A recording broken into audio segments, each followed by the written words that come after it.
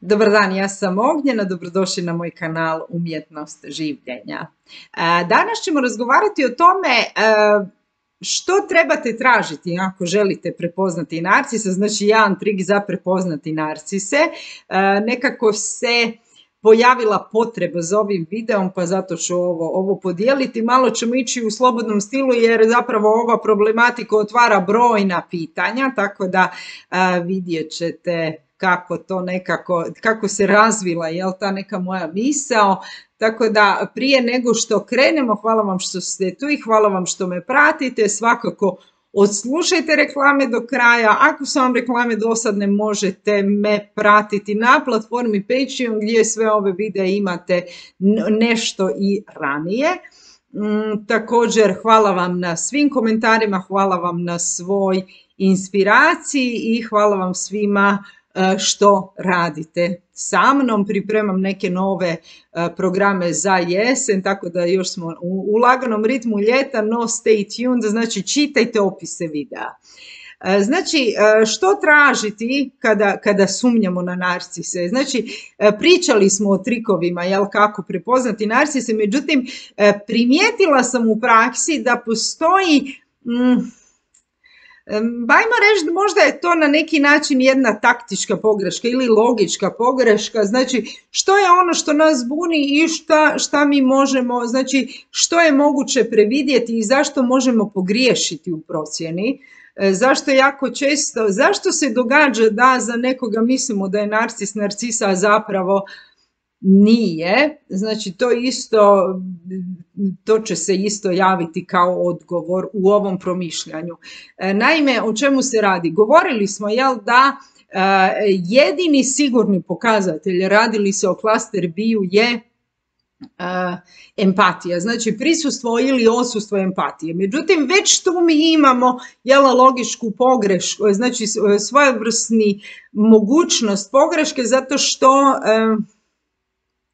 zato što empatija nije uvijek emotivna. Jel? Tako da e, mi možemo imati, osoba može razviti kognitivnu empatiju i to tu osobu ne čini, znači, znači to, kognitivna empatija znači nije pokazatelj je li osoba narcis ili nije, odnosno drugim riječima osoba iz klaster bija može razviti kognitivnu empatiju, međutim mi na emotivnoj razini osjetimo da se ne radi o istinskoj empatiji. Znači već tu mi imamo mogućnost pogreške. Međutim, ako mi razmišljamo o empatiji, znači šta je empatija? Empatija je sposobnost osjetiti i razumijeti jel, osjećaje druge osobe. Znači mi smo tu u sferi osjećaja.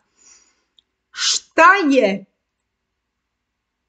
onda, ako mi govorimo o osjećajima, što je ono što čini klaster bir različitim od drugih ljudi. Znači, govorili smo o savjesti, da je zlo zapravo odsustvo savjesti, međutim, šta je ba, šta je ishodište svega?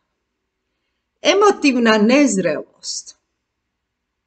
Znači, ono što razlikuje klasterbi od drugih ljudi je upravo emotivna nezrelost. Jer vi ako tražite, znači to mi se dogodilo ne jedno.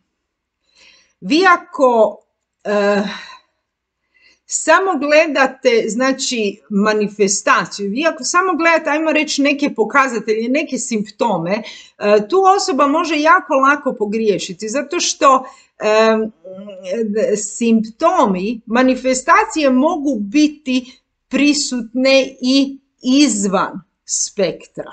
Znači, osoba može biti, ne znam, nepromišljena, a ne biti narcis. Osoba može biti e, hladna, distancirana, a ne biti narcis. Međutim, ono što razlikuje je upravo ta emotivna nezrelost. Znači, to je ono što je bitno e, znači bez emotivne nezrelosti mi ne možemo govoriti o klaster bio. E sad, ako smo, ako, ako smo definirali da je zlo odsustvo savjesti, Šta, šta je savjest? Savjest je svijest da smo svi povezani. Znači, mi ako nemamo savjest, mi nemamo tu svijest da smo svi povezani i samim tim mi nemamo taj osjećaj za druge. I to dalje implicira da, da, da bez savjesti i bez tog osjećaja za druge, mi smo poprilično izolirani. Znači, vi kad gledate klaster B, implicitno, znači oni jesu izolirani. To objašnjava zašto oni uh, ne, ne formiraju trajne veze. Zašto oni nisu sposobni za intimnost. Zašto su oni u biti s, vrlo emotivno oštećeni de facto.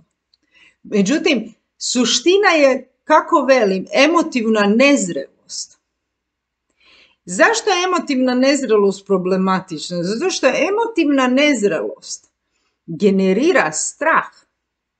I strah objašnjava jako puno, ako gotovo ne i sve, jel, iracionalne poteze, iracionalna postupanja i iracionalni pristup životu koji mi nalazimo kod klasterbija. Ovo ne govorim u cilju stvaranja imuniteta. Sve to njima ne daje imunitet. Sve to ne umanjuje težinu njihovih zlodjela. E, ovo govorim e, zarad nekog razumijevanja na višoj razini. Znači, baš želim podijeliti moje razmišljanje o tome. Znači, mi ako smo emotivno nezreli, mi suštinski ne osjećamo, jer nismo dovoljno zreli da bismo to mogli, da bismo razvili tu sposobnost. Ako ne osjećamo mi kao što ne možemo osjetiti da nešto nije dobro, mi isto tako ne možemo osjetiti da je nešto dobro. I onda ako ne možemo osjetiti da je nešto dobro, mi se ne možemo niti povezati zato što e, mi moramo osjetiti da je nešto dobro da bismo imali tu neku slobodu dati se i povezati se. Bez tog osjećaja mi se zapravo na neki način bojimo. Jer ne znamo što je. To znači da mi ako smo bez osjećaja, mi ostavljamo prostor strahu jer ako u nama nema osjećaja, u nama je praznina, praznina će dopustiti da se u nju naseli strah. Jer mi samo kroz osjećaje možemo spoznati svijet oko sebe. Pazite, e, čula su jako, e, jako koristan i učinkovit alat. Sad, u odsustvu boljeg izraza, alat, medij. Međutim, čula nas jako mogu zavarati. Čula su jako ograničena. Znači, čula bez osjećaja su, vrlo, su zapravo ograničena i mogu nas zavarati. Znači, ako govorimo o čulu vida, mi vidimo, znači, vrlo je uski dio spektra nama vidljiv. Jel? Šta je još zanimljivo vezano za čula? Baš sam o tome razmišljala neki dan. Znate ono kad vas nešto boli? I vi kad pogledate, recimo, ne znam, ono, boli vas, ne znam, lakat. I vi kad pogledate taj lakat, on, on izgleda sasvim normalno. I nikad ne biste rekli da on boli, jel? I niko kad vas pogleda ne bi rekao da vas boli lakat. A vas lakat toliko boli da niste sposobni možda neke bazične poslove odraditi. Jer vas boli. Razumijete o čemu ja govorim kada govorim između ostalog o ograničenosti čula.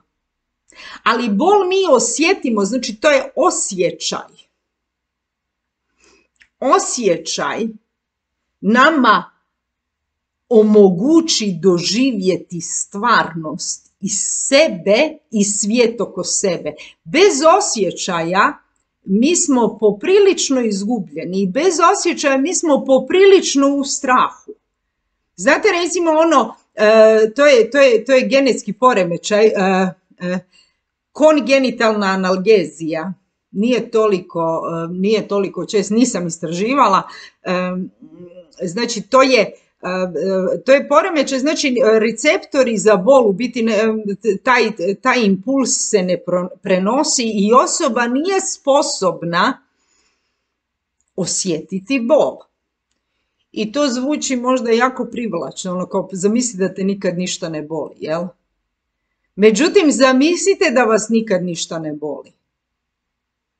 Znači, bol nama sačuva život.